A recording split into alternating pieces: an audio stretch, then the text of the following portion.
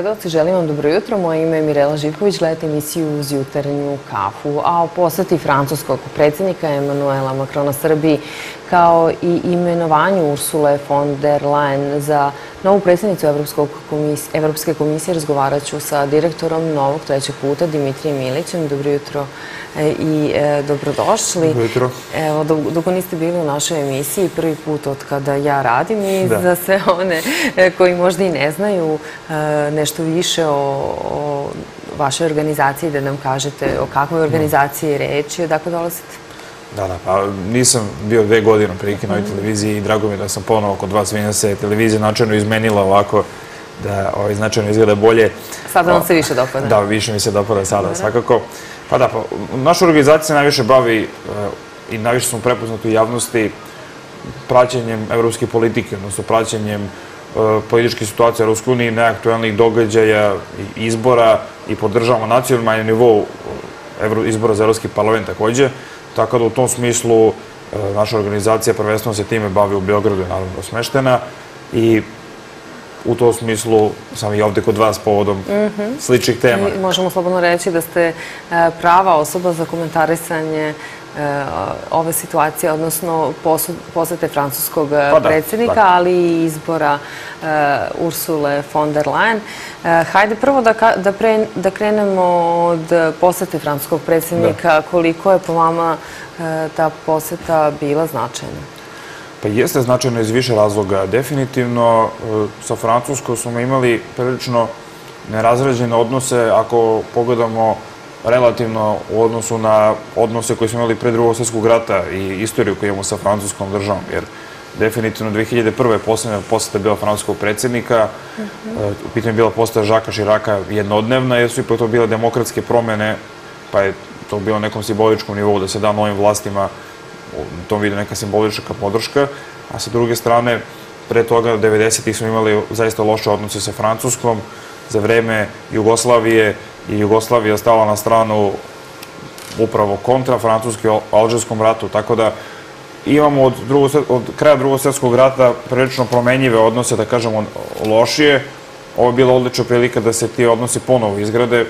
Nije bitno ko je francuski predsjednik ili ko je predsjednik Srbije, bitno je da se sa tom državom ponovo izgrade odnose. Svakako Francuska je vrlo važna država u Evropi. Od četiri sile, ona je jedna od te četiri najveće sile i najveće u Evropi sve stavimo Rusiju, s druge strane Nemačku, tu je Velika Britanija, svoje jedino kraljevstvo i Francuska. One imaju različite karakteristike zbog čega su jaki ili ne. Recimo, Rusija je od njih vojno najjača, ekonomski je tu najjača Nemačka, sa druge strane imamo Francusku koja ima veću privredu od Rusije, manju od Nemačke, ali primjer ima nuklearno oružanje, ima stalno mesto u Savjetu bezbednosti, ima veći vojni budžet značajno, ako pogledamo u odnosu na brzo domaći proizvod, u odnosu na Nemačku. Tako da Francuska ima političku moć, ima vojnu moć, Nemačka ima više ekonomsku moć. Tako da dobro je graditi strateške odnose sa Francuskom koja će se sve više pitati u Europskoj uniji kako sada trenutno stvari stoje.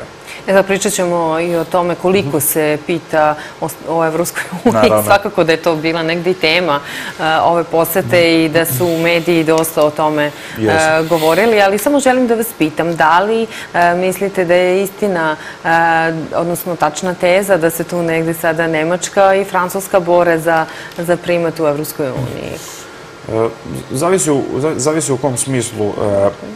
U, što se tiče same ekonomske vizije kako bi Evropska unija trebalo da izgleda, tu postoje određene slaganja, ali moguće je doći do nekog, da kažemo, konsenzusa. Političko pitanje, tu su one više bliže, jer i jedna i druga, i Nemačka, bar sadašnje, da kažemo, vladajuće partije u Nemačkoj, CDU i SPD, odnosno Hričansko-demokratska unija i, i, i socijaldemokratska partija, Nemačke i, s druge strane, Makronova partija, imaju relativno sličnu viziju u političkom smislu da bi to trebalo dublje integrisati Uniju. Ono što je naravno problem, veće, su razlike u viziji između primjeri Francuske i ovih nordijskih zemalja. Odnosno, ono što Macron i njegova stranka žele da ostvare, u odnosu, na primjer, radi Holandiju uz skandinavske države plus baltičke države. Te države nisu zainteresovane za, recimo, neki zajednički budžet da bi se preraspodeljivala dobit od gubitnika eurozone ka, kao, pardon, pobednika ka gubitnicima ili gde bi se prosto pomagalo državama koje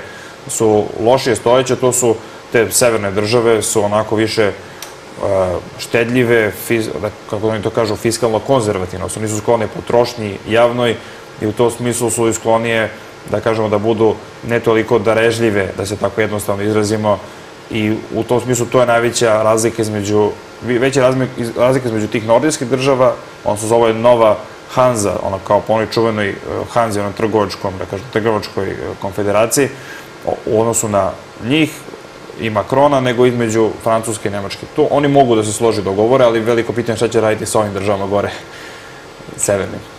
E sada, kada rekli smo da ćemo pričati o tome e, šta nam je francuski predsjednik poručio što se tiče da. ulaska Srbije u Evropsku uniju, dakle sada je trenutna odnosno početkom godine smo imali izjavu da se neće Evropska unija proširivati, a sada je sledeća poruka, a to je da se Evropa negde preispituje i presabira, da smo mi ti koji smo dobre, ali moramo da sačekamo da se Evropa sredi pa da onda mi uđemo. Da li ste to videli, da li ste tako da. shvatili tu poruku?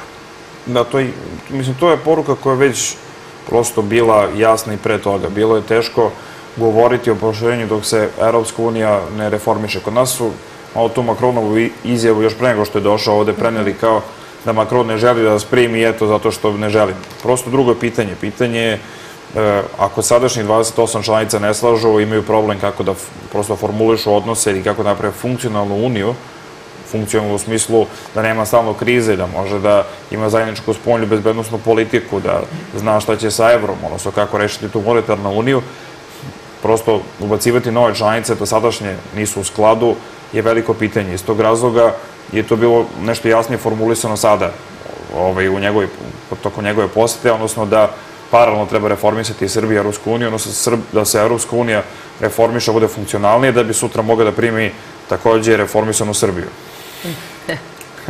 E sad, šta sad to znači? Da li to znači da smo mi bili dobri džaci ili nismo bili dobri džaci do sada, pa ćemo možda dobiti nagradu za to, a možda i ne?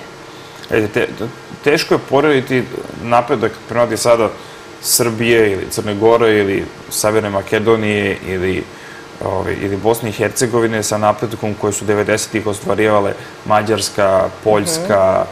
Češka, Slovačka, Prosto, te države su značajno više napredovale u tim godinama, koje su prosto bile godine kada je bilo dosta prostora za to. Znači, 90. godine, kako smo se mi ovde u regionu bavili ratovanjem, oni su ipak reformisali uspešne države kada je za to postojalo i odličnog prostora međunarodnog s jedne strane, i s druge strane i, i dosta kapitala koji se, koji se slio u te države nakon što su one otvorile kada je pao komunizam.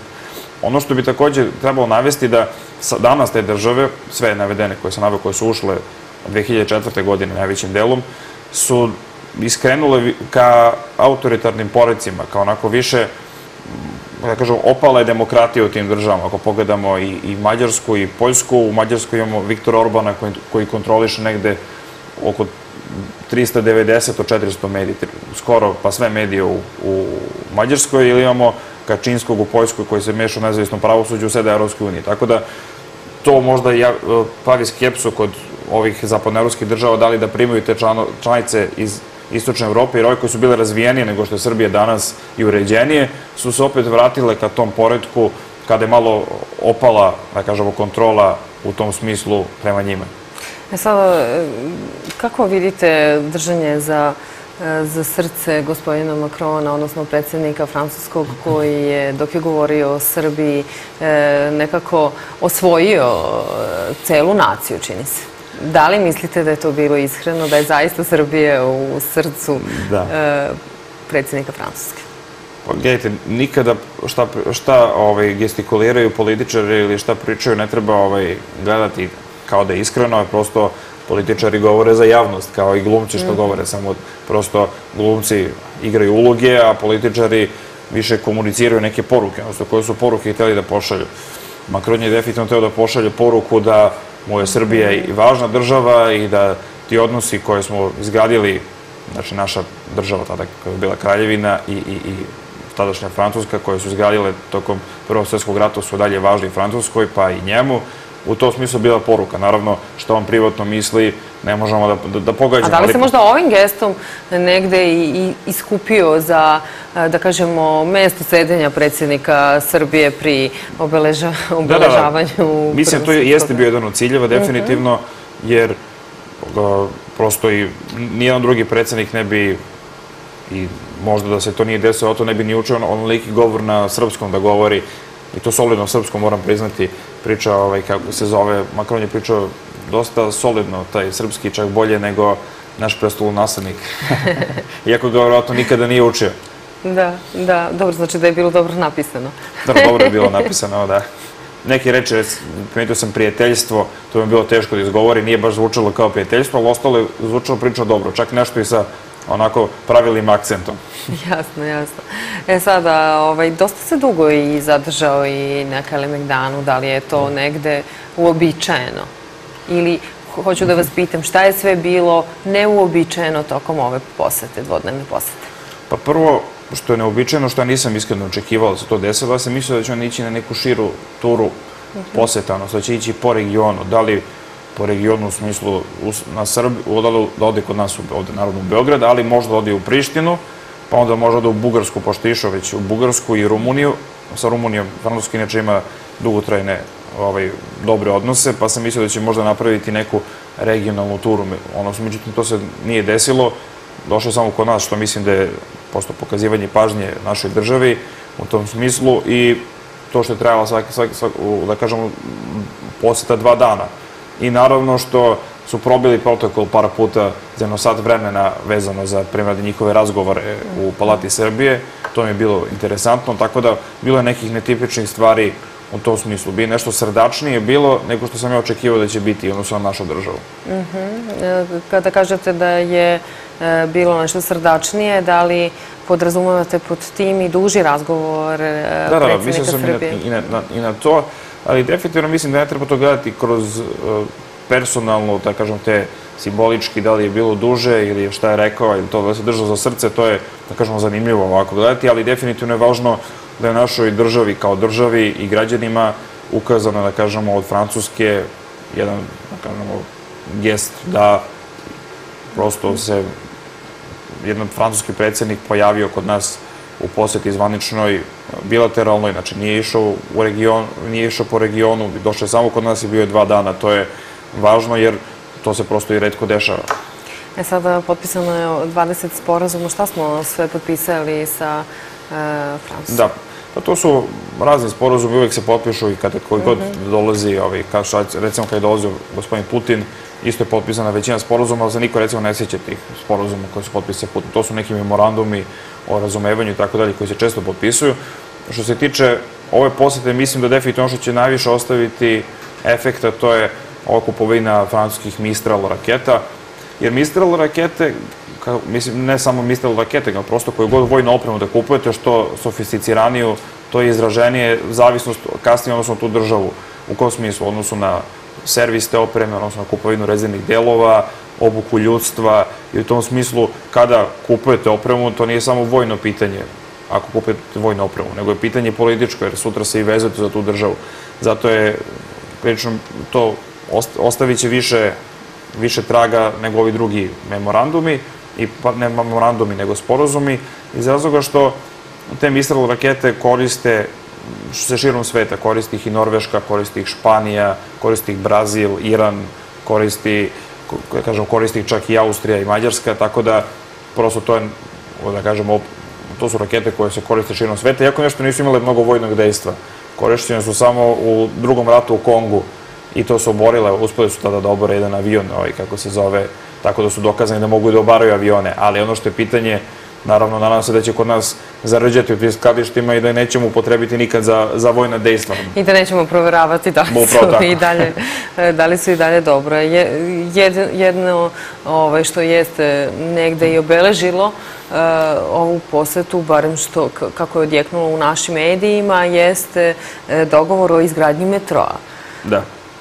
Pa to, što se tiče metroa, Znam da je to bilo ovaj, i 2011. ili 2012. da se razgovaralo takođe sa Francuzima da isto nešto potpisano, a da prosto oko tog metroa je stalno priča u Beogradu već decenijama, nekako nikako da se realizuje, tako da ovaj, po, po tom pitanju ću naravno ostati rezervisan i, i čekat ću ovaj konkretnu realizaciju, da li će na kraju doći do metroa i neće u smislu izgledanja. Najavljeno je već sledeće godine da će početi radovi, tako da nekako čini se da, da eto, samo što nije. Da, da, pa ja nisam nešto generalno stručan za te infrastrukturna pitanja, da, da. prosto nisam se time bavio, to je ipak za ljude koji su, za, da kažemo, eksperti za tu temu, za metro, tako da ovaj, zanimljivo je da imamo Budimpeštu koja ima drugi najstariji metro u Evropi, a da smo mi toliko blizu ovaj, Budimpešti, a da ovaj, metro nemamo i da smo inače prilično veliki grad ako pogledamo mm -hmm. veličinu naše države kao Beograd, a da metro nema i da ga još i, i, i čujem da recimo u SFRJ nije izgrađen još tada, a ovo sada, sada je već i grad porastao još, još iz tog vremena i veći broj automobila u gradu, tako da mislim da bi trebalo da postoji, samo vidjet ćemo kakav je planiran. E, ali imamo najave da će to biti jedan od najsavremenijih e, metroa u ovom delu Evrope. Sad, hm. hajde samo da... Sad ja ne znam koliko ih ima u ovom delu Evrope, ovaj, koliko ima metroa, ali kažem, nisam ekspert za to pitanje, tako da ću ostaviti ljudima koji se bave prvenstveno tim, da postavljam da će biti gosti kod vas kada to pitanje bude aktualno u gradu, da objasne definitivno i taj element bolje nego ja ovako laički. E, dobro. Ono što jeste, što, što zapravo e, što nisu preneli mediji, ali jeste dnevni list danas, e, jeste da su se lideri Saveza za Srbiju sastali sa Makronovim timom. Kako to vidite? Da li je to, ovaj, kako bih rekla, to je isto jedna od uobičajenih da, pa, procedura ili ne? Da požele naravno da savjetnici, ako predsednik e, nije mogao da se, da se nađe sa, da kažemo, opozicijom, Makron je rekao da da smo poslali, poslali ranije, on bi, kako kažem, se našao, pa onda smo vidjeli da je, je da li je poslato ranije ili nije, ne mogu da ulazim sad šta je tu tačno, šta nije, ali definitivno savjetnici su se vidjeli, to je regularna aktivnost, jer prosto žele da vide konkretno slanje na terenu u svim poljima, pa i u tom polju, tako da Uh, očekivano je i da će ukazati i drugoj strani, odnosno da čuju šta i druga strana ima da kaže po tim aktualnim pitanjima. Da li su zaista oni spremni da saznaju šta se dešava i unutar e, zemlje zaista osim e, da eto dođu i da reše taj problem e, Kosova, da nas možda malo umire po pitanju da. ulaska u Evropsku uniju i da naravno vide tu negde možda ipak ostvare svoje ekonomske da. ciljeve, odnosno potpišu važne, važne dogovore, pa između ostalog da. i, i dogovor o izgradnji metroa. Oni znaju u suštini, oni znaju u suštini sve, samo je pitanje šta žele da kažu. Mhm. Znači, Mislite da znaju? Pa tako je, ovaj, zato što... Kad, i, Koliko im odgovara situacija, to hoćete da kažete? Naravno, zato što kad pogledate, kada se, recimo, čitaju izvešte Evropske komisije, vi vidite, ona priča da, da ne znam, u Briselu sede birokrate odrođene od realnosti koji sede, ne znam, u kulama, oslonovače i ne znaju šta se dešava bilo gde. Vidite da oni čak i u Srbiji znaju dobro šta se dešava u smislu da kada se čita, recimo, izvešta Evropske komisije ko nekih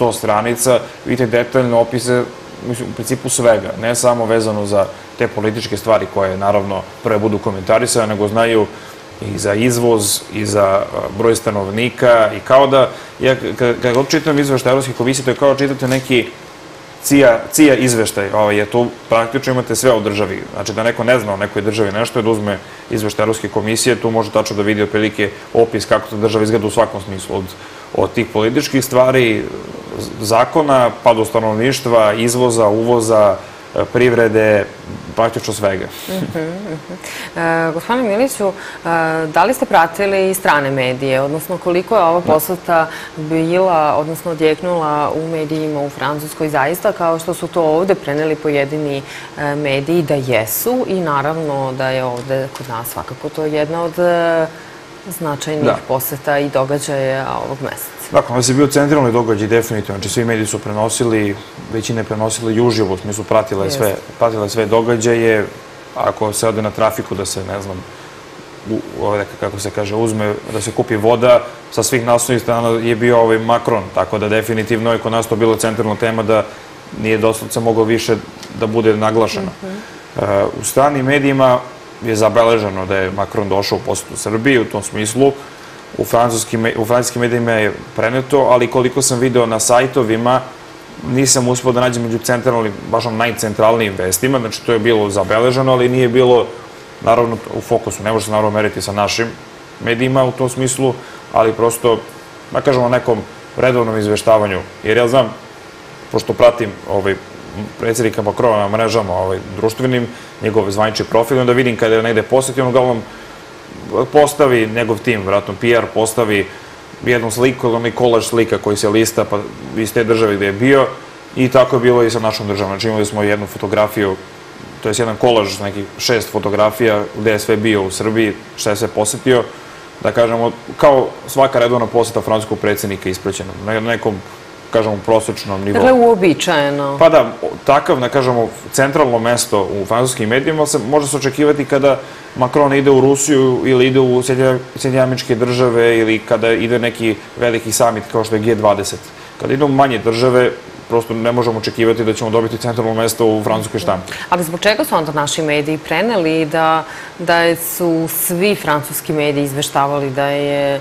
Eh, pa da, pa vole kod nas medije ovako da preteruju stalno. Senzacionalistički to nekako Pa da, ja sam, ja sam ovaj, čitao u, pre ovog, naravno, događaja u medijima da su objavljivali ovaj, tabloidi Macron kako je povlače priznanje Kosova. Mislim, to posto nije mogo da se očekuje da će nikada, te, nikada ozbiljne države koje imaju ozbiljnu diplomatiju ne mogu na, tako na prečac da reaguju sada što je došao jedan predsednik da se sve apsolutno izmeni i poruši i ide od nule. To je samo, da kažem, u nerazvijenim državama po, kako se zove, po u subsaharskoj Africi, u Latinskoj Americi se menja za 180 stepeni kurs kada dođe novi predsednik. Mhm, mhm. Tako da čak i kad je Trump došao, što je bio šok za Sjedinje američke države, nije se izmenilo sve u, u Sjedinje američkim državama pa i u svetu, iako je naravno došlo do promene. Dobro, Macron je imao i problema kod kuće. E, da li ih i dalje ima? Kakva je situacija da. sada u Francuskoj? Da, što se tiče Francuske, Francuska je poznata po tome da e, njihov politički sistem daje predsedniku ogromnu moć, u smislu, to je polupredsjednički sistem, znači imamo dominantnog predsednika i premijera koji je manje poznat, nikoga on ne pamti francuske premijere, ali svi pamte francuske predsednike s jedne strane, a sa druge strane, čim se izabere predsednik, on postaje vrlo brzo nepopularan. E, redko koji francuski predsednik je držao visoku popularnost, ako pogledamo ove poslednje predsednike, kao što su Hollande, Sarkozy i Chirac, svi su oni bili na relativno slabim rejtizima, kakav je danas Macron.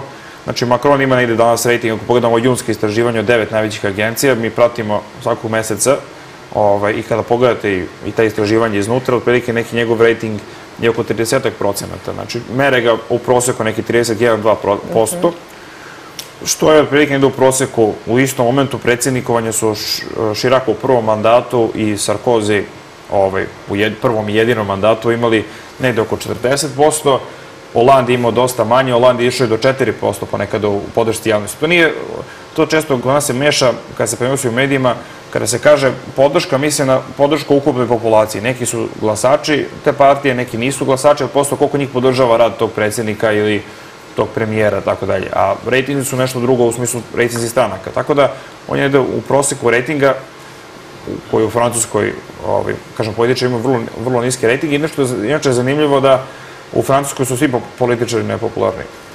U Francuskoj redko koji političar ima prihvaćenost u javnosti od 50%.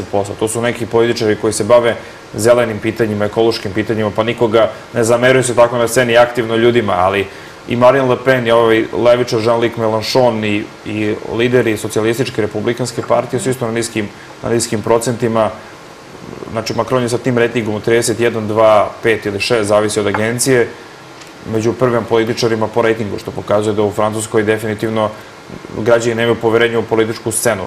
Tako da je on tu nedo u proseku žuti prslukici su napravili najveći problem. Znači, rejting je za vreme protesta žutih prsluka krajem prethodne godine išao i do 18, 19, 20%, što je recimo kritično. To je zona kad ulazite zaista u veliku, veliku nepopularnost, gde iako vas politički sistem štiti, da ne može niko da vas meni sa, sa tog mesta, sa druge strane, opet, kad ima tako nizak legitimitet, pitanje je prosto, da kažemo, da li je u redu da budete mesto predsjednika. Međutim, sadašnji rejting je korektan, tako da on se stabilizovao, vidjet ćemo dalje, do 2022. je predsednik, nakon toga idu izbori, ako osvoješ jedan mandat, bit će do 2027. Tako da strateški jeste ispravno vezivati se za Makrona, čak i da ne osvoji drugi mandat, mada sam ja više optimističan blago da će osvojiti ipak drugi mandat 2022. godine. Zbog čega to mislite? Pa zato što je konkurencija gotovo uništena u Francuskoj. Znači, ove dve najveće partije, republikanske i socijalistička, koje su dominirale u francuskoj politici, su gotovo nestale. Znači, socijaliste su na 6 procenata, uglavnom im se osula partija na sve strane, a republikanci koji su bili, znači, socijalisti su levi centar u Francuskoj, desni centar su republikanci, recimo republikanci, to, to je partija Širaka Sarkozija, ona je isto na 8% bila na izborima za Evropski parlament, to je prilično nisko za tu partiju, i raspala se u smislu odliva članstva. Deo otišao kod Makrona, deo otišao kod Marine Le Pen, tako da u suštini tu će biti takmičenje između Makrona i Marine Le Pen. U tom duelu i dalje većinu može da pokupi Macron, koliko ja ćemo pokupi, odnosno većina će glasti za njega, definitivno Marine Le Pen, njena politika nema podršku u većini građanstva. Tako da, dok god nema konkurencije od nekih umerenih kandidata, verovatno će pobediti u drugom krugu izbora. Da li su žuti prsluci negde e, imali zaista realnih pretnji prema, prema Makronu? Da li su mogli da, da ga skinu s vlasti? Pa, mogli su da ga skinu možda nekim vanustavnim metodama revolucionarno, ovaj, da, i da ih je bilo više, su bili nešto agresivniji. Međutim, naravno, to ne možemo uzeti u obzir, to se u Evropi ne dešava, ovaj, prosto savremenoj to je u nekim, da kažemo, drugim državama. Pa dobro, ali ipak su bili nemiri, ne možemo reći da, da ne, ne, jesu, jesu bili nemiri i ti ljudi koji su agresivno nastupali, u smislu da su uništavali radnje, da su uništavali infrastrukturu po gradovima i tako dalje, oni su i diskreditovali te proteste. Ti protesti su bili najjači, u smislu najjači, u smislu su imali najnegativniji efekt po predsednika, kada su bili mirni i kada su se po ovim manjim gradovima skupljili i dolazili u Pariz. Najvećim delu su bili to vlasnici malih radnji, bili su e, nezaposleni, bili su penzioneri, siromašni, tako da to su imali najjači efekat i u tom momentu je podrška bila gotovo konsenzualno u javnosti u odnosu na njih. Velika je podrška bila za žute prosuke, recimo 60%, a protiv je bilo 15 ili 20. Sad se obrnulo, sad je, mislim, nisu obrnulo, nego je podrška za žute, žute prosuke negativna u javnosti. Znači, oko 60% po istraživanjima ljudi u Francuskoj gleda negativno žute prsuke, sada već. Pošto je to već sad mala grupa ljudi, uglavnom ekstremno levih i ekstremno desnih aktivista koji su više agresivni i koji bi protestovali šta god da se dešava. Tako da onaj kor žutih prsuka je već otišao. E, ali e, dugo su trajali protesti, a opet je Macron negde zauzeo čvrst stav. Šta nam to govori o njegovoj vladavini i o njemu samom? Da, pa čvrst stav u smislu e, u, čvrst stav u kontekstu što ovaj, se možda postavio u početku oštro prema njihovim zahtevima, mhm. onda je napravio prvo jedan ustupak u smislu da je ukinuo taj porez na gorivo. Mhm. Mislim, taj porez na gorivo u suštini ne bi mnogo koštao građane, naravno u Francuskoj, pogledamo njihove prosječne plate, to je, mero oni da oko 10 evra mesečno, znači to ne bi sada uništilo ta domaćinstva koja imaju o, o 1000 i po, 1600, 2, 3 hiljade evra mesečno, po članu domaćinstva, znači to ne bi uništilo ta, njihove budžete kućne, ali prosto se akumuliralo nezadovoljstvo nefunkcionalnošću Francuske, tako da je to prelomilo ljude da izađu da protestuju. Ovo je prosto svi voze i onda su mogli da se povežu sa tim, za neke mere koje su išle selektivno, znači na železnicu ili koje su išle na zakon o radu, nisu svi tu, da kažemo, mogli da se povežu u potpunosti da bi svi zajedno izašli da protestuju. Ovako je ovo motivisalo ljude.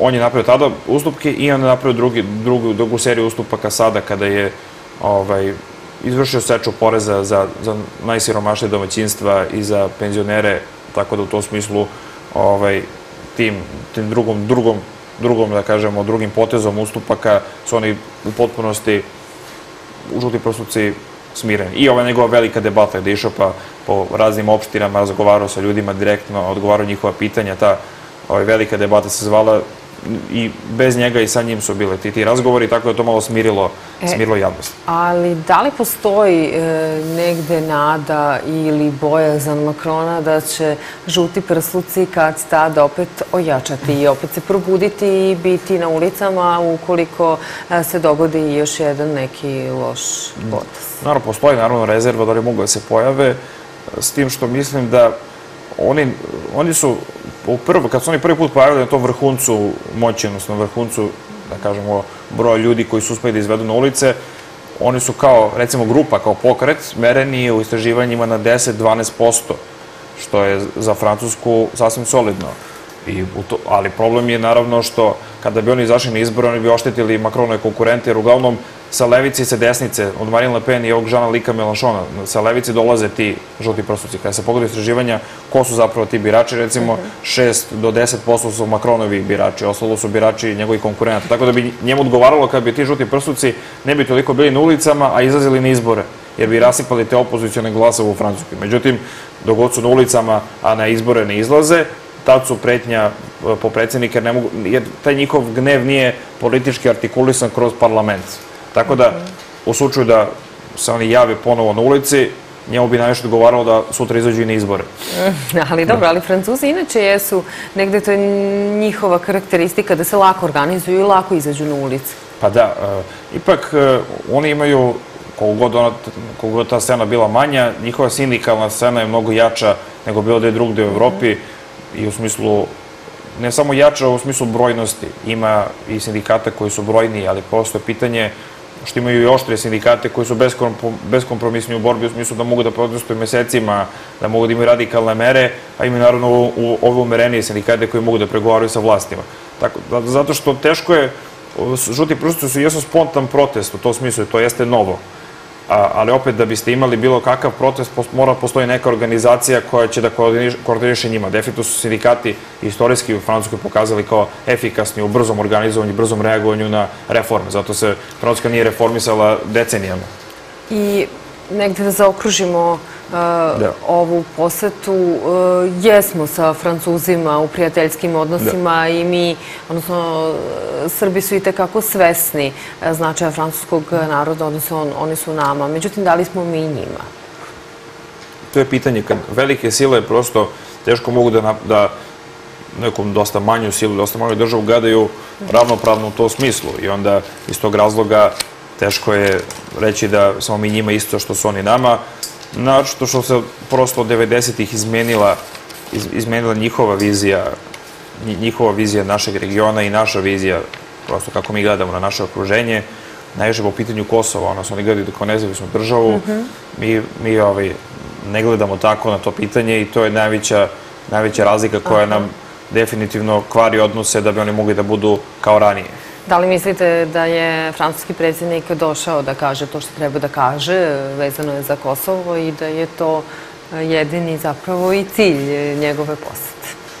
Nije jedini cilj, ali jeste jedno ciljeva da prosto spomene i taj element. Ali mi, dobro, da. izvinite, zvršite. Da, da spomenje i taj element, zato što ako pogledamo Francusku, Francuska je ipak više sklonija tu kompromisnom rešenju, kompromisnom rešenju u kontekstu su spremni neki vid razgraničenja. Ne naravno na razgraničenje ne bi se nešto masovno menjale teritorije, ali jesu otvoreni za to, nisu toliko striktni. Nemačka jeste. Nemačka je striktna po tom pitanju. Tako da je to najveća razlika po pitanju Kosova. Tako da je on došao, ovaj, u smislu najviše prepostavljam da sa našim predsjednikom razgovara o tom pitanju. I verujem da su o tom pitanju najviše razgovarali, ako pogledamo tih sat i po vremena koliko su razgovarali iz zatvorenih vrata, što mi ne znamo šta su pričali. Znamo šta su oni rekli da su mhm. govorili, ali ne znamo šta su konkretno razgovarali.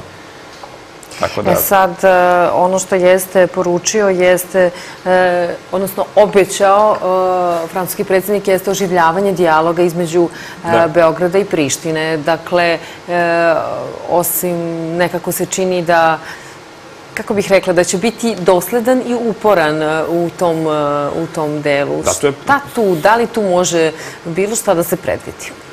Tu, znači, te prištinske vlasti definitivno protiv, protiv, uh, prosto protiv pravila CEFTE, CEFTA sporozuma o slobodnoj mhm. trgovini, protiv želje i, i, i zamerki evropskih država, čak i srednjih američkih država da ukinu te takse, oni ih i dalje drže, definitivno i plaćaju političku cenu zbog toga. Oni ne računaju da time demonstriraju da su oni država. Znači, mi, smo, mi imamo naše, naše granice, mi imamo naše carine, eto vidite, mi smo uveli takse, znači mi smo država. To je njihov cilj da je poboljšali prosto položaj u pregovorima. A sa druge strane, e, to ih politički košta, pošto sve njihove države tradicionalne saveznice, mislim one čini tradicionalne, to je, kažemo, 2008. su one odcepili, tako da to nisu neke tradicionalne saveznice, nego prosto trenutne saveznice, države koji podržavaju u tome, definitivno im zameraju taj element, međutim oni računaju da mogu da odlažu dok ne dođe baš do ekstremne situacije, da im neko naredi u, u tom smislu se misli naravno na Washington, jer Washington, odnosno Sjedinje američke države, najviše utice na njih, ali oni, te kažem, kažem, kozovski albanci računaju da ako dovoljno oduže, možda dođe neki predsjednik koji bi im više odgovarao, recimo neki, neki mhm. demokrat umesto Trumpa, što mislim da nije naročita kalkulacija, jer i demokrate koje dođu neće biti u potpunosti iste demokrate koje su bile ovaj, za vreme Obame, a da ne govorimo za vreme Bila Clintona. Mislim, to je zaista drugo vreme skroz. Ono što jeste aktualno u Evropi jeste da je izabrana i predsjednica Evropskog eh, Evropske komisije, Evropske komisije uh, Ursula von der Leyen. Uh, šta znamo o njoj?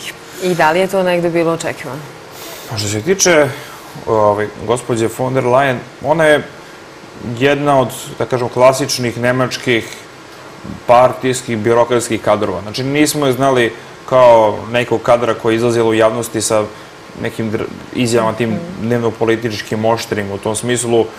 Ono što je zanimljivo za nju, što, se, što recimo intervjuima se saznalo, to je da je recimo više za Evropsku federaciju, odnosno ona sanja da će njoj unuci živeti u Evropskoj federaciji, znači to je jedan dublji nivo integrisanosti Unije. Znači nije sada Unije država, nego je to jedna, da kažemo, jedna, jedna, jedna država koja ima svoje fede, da federalne države, znači da je super država, više nego što je sada Unija država. Tako da u tom smislu njena, njen stav je onako različit samo po tom pitanju su sve ostale kolege iz njene partije. Nema ih mnogo takvih u, u demokratskoj uniji u Nemačkoj. Tako da ona je bila ministarka odbrane Nemačke.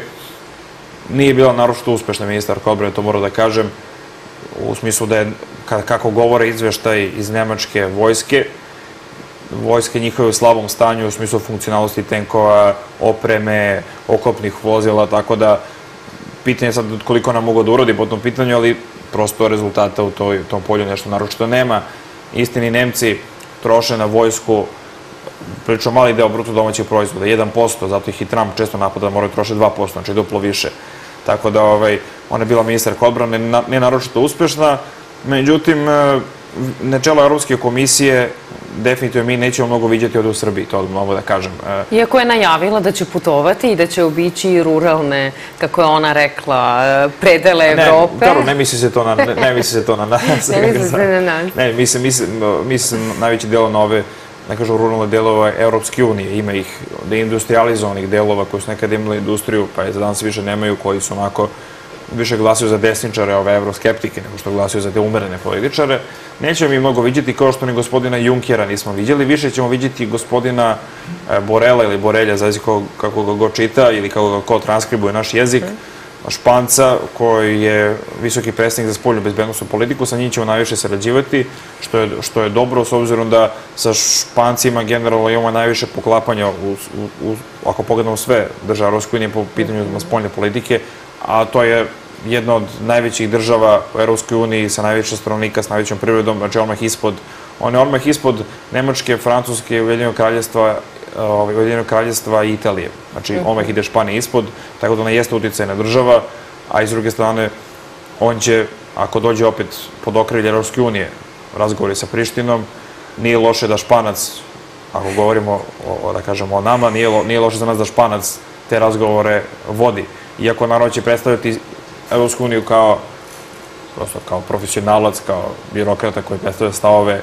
Unije, međutim, definitivno onom, element, onom delu koji će mhm. ticati njega lično, to će biti korisno. Recimo i Katalonac koji je protiv nezavisnosti Katalonije u Španiji, tako da nema prosto za nas boljeg sagovornika od njega ovaj, u, u celoj Evropskoj komisiji. Dakle, on po tom pitanju bar. On će vjerojatno postati naš e, veliki prijatelj, ali da, da se vratimo na gospođu Ursulu von der Leyen. Ono što jeste bitno jeste da je rekla da će obratiti pažnju na geografsku uravnoteženost i da će gledati takođe u istočnu Evropu. Šta to konkretno e, za nas znači? Da. Pa, sledeće tu, ona je tu najviše mislila na, na centralnu i istočnu Evropu u smislu ovih država koje su ušle naj, najveći deo 2004. godine koje zaostaju ekonomski za, za ovim zapadnoevropskim državama i za prosekom prosto Evropske unije. Međutim, kod nas se često relativizuje prosto i članstvo i Bugarske i Rumunije u Evropskoj uniji u smislu da oni ništa toga nisu imali. Prosto, kada pogledamo podatke o njihove ekonomskoj izostalosti, one u prilično umanjena. Znači, ako smo vidjeli da oni 2007. je ušla Bugarska i 2007. isto ušla Rumunija, oni su sa trećine evropskog proseka sada stigli za, na, ovaj, na polovinu evropskog proseka. Istina, lakše se stiže kada ste lakše se stiže ovaj, sa, sa keca na trojku nego sa četvorke na peticu ili sa trojke na peticu, ako pogledamo sad da uzmemo metaforove ocene u osnovnoj školi ili srednjoj školi, ali znači lakše se sa tih, da kažemo, nižih grana stiže do sredine, a, a teže se stiže do vrha. Međutim, zabeležen je napredak, zabeležen je i takođe u centralno-istočnoj Evropi u smislu u Mađarskoj, u Češkoj, u Poljskoj, sa negde polovine na dve trećine. Znači, te države i napreduju, ali prosto i dalje je to neuravnoteženo dovoljno. Iako Nemačka, Holandija, Francuska, Italija više daju za te strukturne kohezijone fondove nego što primaju iz njih. Znači, Nemačka e, prosto daje milijarde svake godine koje idu ka državama centralne istočne Evrope i u tu Mađarsku, u Mađarsku se recimo slije 3,5 milijarde svake godine više nego što iz Mađarske ode ka Europskoj uniji, u Poljsku 7 milijardi, u, u Bugarsku milijardu i po. Sad, da li ona misla po tim da će više novca biti distribuirano tamo, sumnjam, ali mislim da će više gledati kako se ta sredstva troše, pošto je Viktor Orban i njegova partija u Mađarskoj i, i u Rumuniji sada je to isto ovaj, problem. Prosto ta sredstva koje stižu, kako da kažemo, čerupaju partijske strukture u tim državama. E, ali najavila je i reforme unutar Unije, prepostavljam da se onda misli na te reforme. To je jedna, jedan element. Najveći element, to misli što se tiče same funkcionalnosti, jer mhm.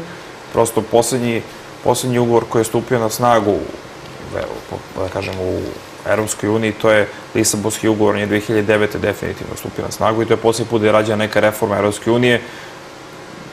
Da kažemo, rezultati su, da kažemo, delimični, Tako da vidit ćemo, možda dođe do nekog novog sporozuma koji bi ponovo redefinisao odnose, pošto svaki sporozum redefiniše odnose na nekom nivou. Menja strukturu, ovlašćuje neke organe više, nekim umanjuje ovlašćenja, recimo Lisabonski ugovor je parlament dobio veće ovlašćenje. Vidjet ćemo sada ko će, ko će biti najveći dobitnik ako dođe do neke veće reforme. Mislim da će doći, jer ako se izgla, jer kažemo, da kažem, svi ovi novi funkcioneri Ruskoj uniji su relativno slični po stavovima, svi su više za taj federalni koncept, za to je više i Macron, Merkel je na izlasku, tako da postoji prostor da se da dođe do, zaista do reforme, što, što znači da je za nas kao državu koja teži ka članstvu, bar ovako načelno, biće jasnije u kako će to Uniju moći da uđe, odnosno kako će ta Unija izgledati nakon što bude promenjena. Tako da upravo to što je govorila gospođa von der Leyen. E, ono što jeste interesantno jeste da će od 1. januara 2020. Hrvatska biti predsedavajuća. Da. E, kako na, na to gledate? Pa to neće nešto promeniti mnogo, ovaj, jer u tom periodu prosto neće se, neće mi nešto mnogo uraditi po pitanju evropskih integracija za tako kratak period, da bi sada oni mogli nešto nas da stopiraju ili, ili, ili bi nešto mogli da čine, da kažemo, kontra nas, što je naravno prvi osjećaj, znači kada se kaže da će Hrvatska predavati, osjećaj kod nas je, znači nešto mora da je loše za nas odmah.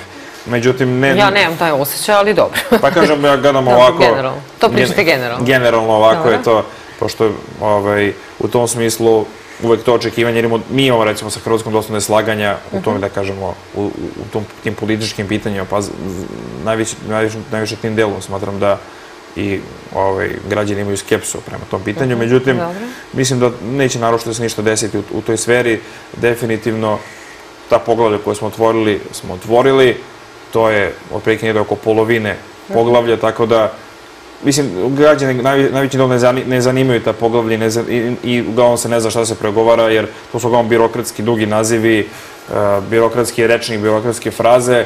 Međutim, uh, kada bi to uprostili prosto, to pogledima je definisano šta bi trebalo države da urade da bi te države izgledale više kao ove zapadne-evropske države najsavremenije.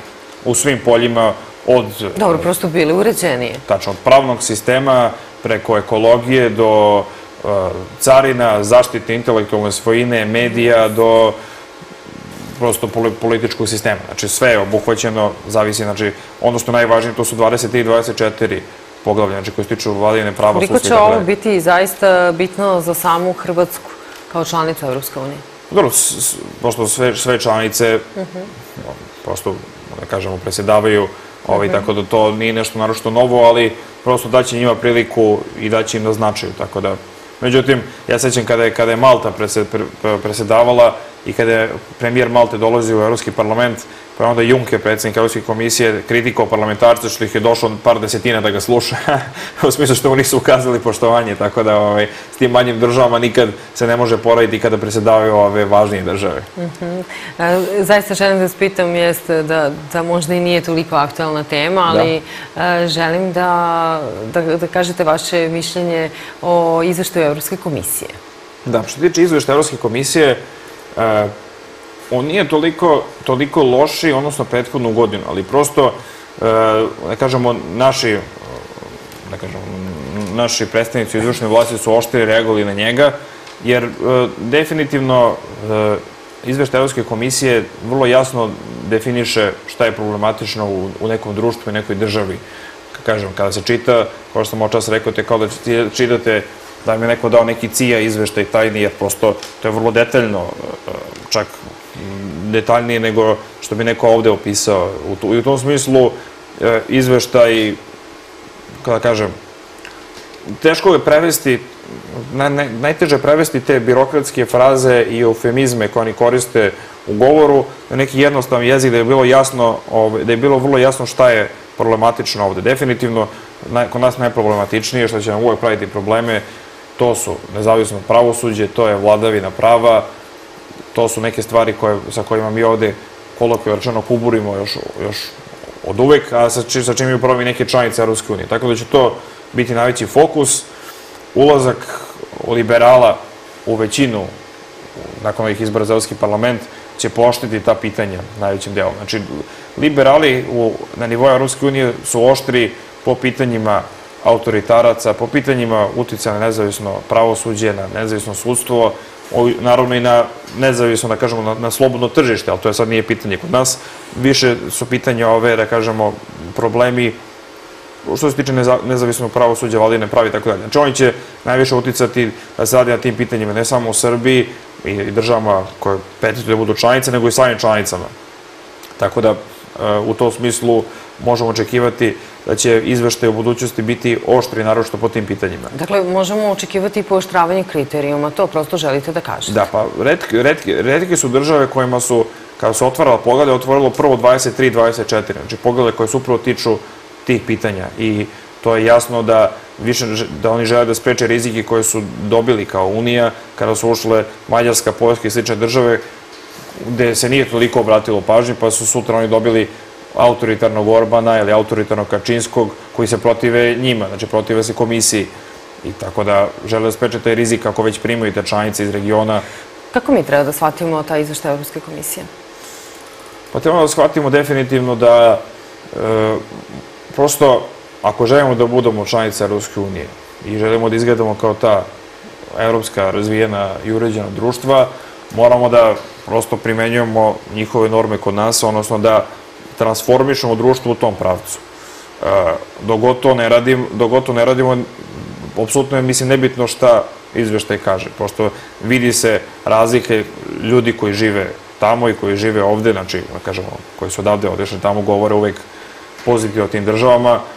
I iako ta naša dijaspora ima uvek neku nostalgiju prema Srbiji, nekako nikad se ne vraćaju ovde da žive nazad. Ovaj. Prosto, svi vole da žive u uređenom društvu i, i uvek se govori o tome da kao, ne znam, vladavina, vladavina prava je problem u, u, ne znam, za Srbiju i tako dalje, nezavisno sudstvo. Mislim, vladavina prava, ako bismo je to u potpunosti pojednostavili i prebacija narodni jezik, to je ono što smo imali u narodnim pesmama, sudi ni po babu ni po stričajima. To je u suštini vladavina prava. Znači, da vlada pravo, da ne vlada volja pojedinaca. Tako da u tom pravcu naše društvo mora da se transformiše ako želimo da bude u funkcionalnom društvu. Sve ostalo pa kažem, dokazano istorijski da ne, da ne funkcioniše na dugi rok.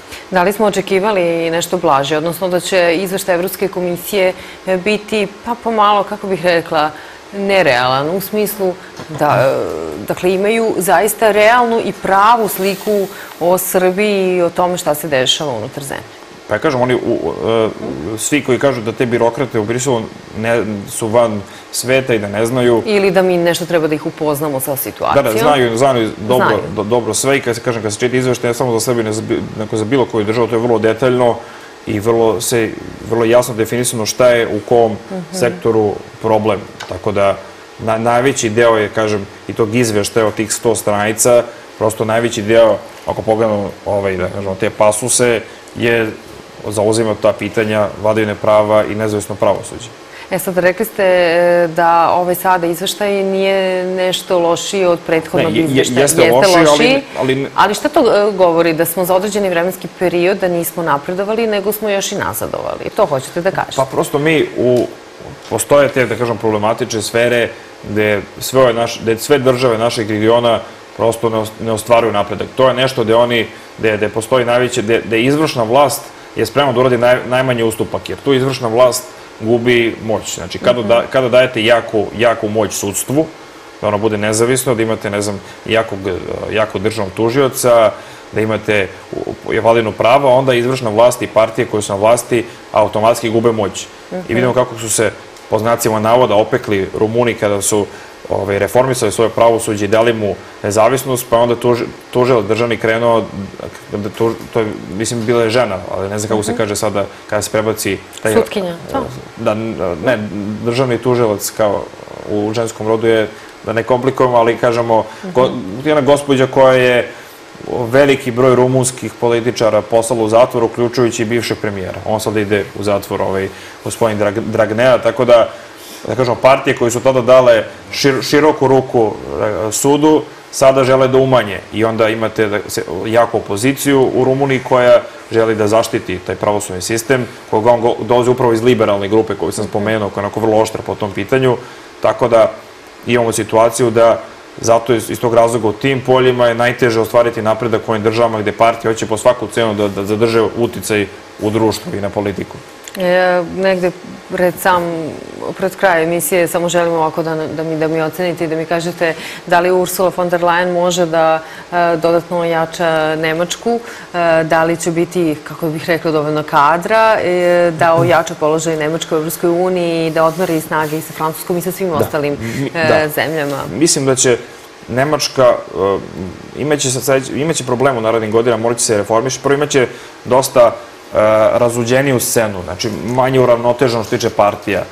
Neć, teško da će više Hrišćansko-demokratska unija sa njenim manjim partnerom iz Bavarske dobacivati tako kolokvio rečeno narodski, do 40%, 36%. On je sad neki 26-27.